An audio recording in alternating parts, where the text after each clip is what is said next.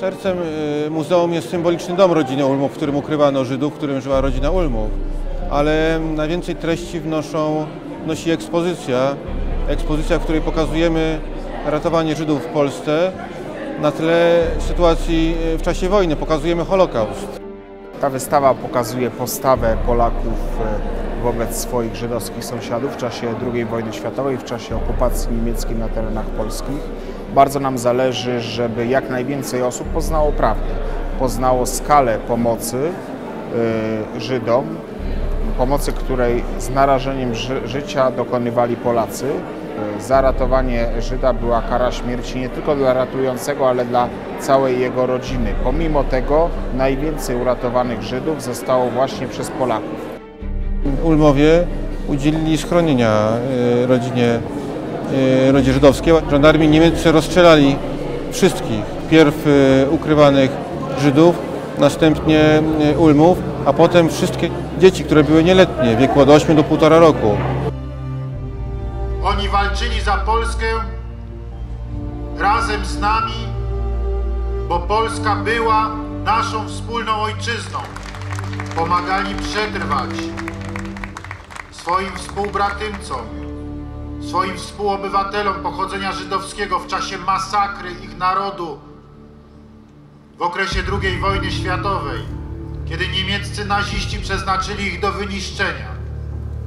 Dziękuję, że to muzeum jest ich wszystkich pomnikiem. To muzeum jest długo oczekiwanym miejscem, e, miejscem pokazującym prawdę, ale miejscem również, które oddaje hołd.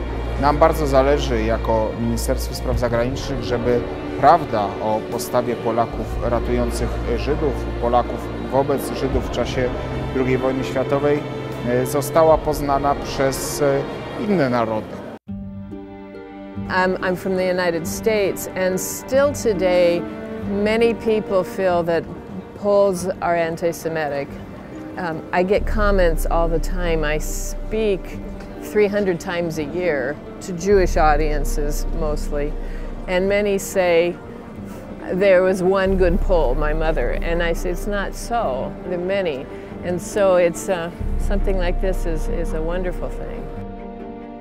On też ma działać na, na przyszłość, w tym sensie, żeby pokazywać tej młodzieży, która tu przybędzie, tej polskiej i izraelskiej, że w trudnych czasach możliwe są jakby takie czyny, takie, które są ponad przyzwoitością.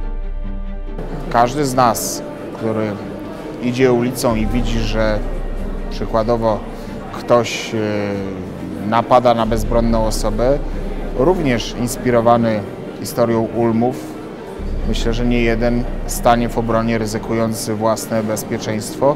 E, Każda sytuacja z historii powinna inspirować do dobra i również to muzeum spełnia taką rolę.